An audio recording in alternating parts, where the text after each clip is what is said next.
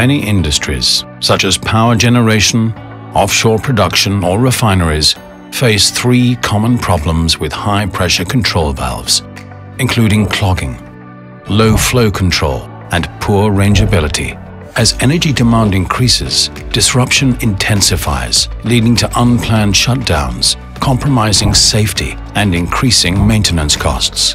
For years, operators have struggled with minimum flow control, particle contamination, and poor rangeability, requiring a split range configuration. To solve these problems, IMI Critical Engineering has developed our revolutionary solution, the Metamorphic Trim, or as we call it, the MMT. The MMT combines the advantages of two existing technologies, multi-turn and cascade valves, into one highly innovative product.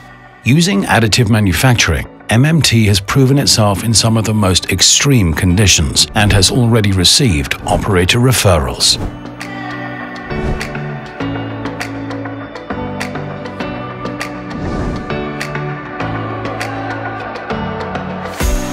What makes the MMT unique? MMT has four key benefits velocity control, self cleaning design, enhanced minimum flow control, and a protected seat design. Velocity control.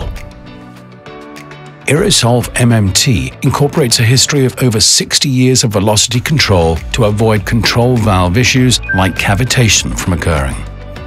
A cascade trim with insufficient stages will cavitate, while the EroSolve MMT trim with over 10 stages prevents cavitation. Self-cleaning design.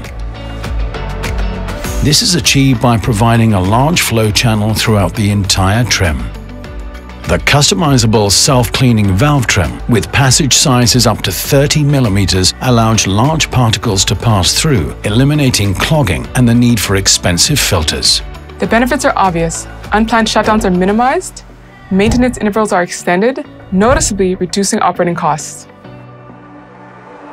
Enhanced minimum flow control MMT ensures unmatched flow control without minimum opening limitations, resulting in greater rangeability. OPEX can be significantly reduced by avoiding problems caused by gap flow erosion. By making processes easier to control through a single valve solution and eliminating split range configurations, CapEx is also reduced. Protected seat design MMT's seat area is located at the inlet of the trim, away from high-velocity flow areas, eliminating the risk of cavitation damage to the seat. The flow path design with multiple inlet windows reduces the inlet velocity. Even with small openings, multiple stages act to provide effective velocity control and a gradual pressure drop. Therefore, you can be confident in operating the valve at very low flow openings. To find out how MMT can solve your plant's problems and save you potentially millions of euros a year, get in touch with our team now.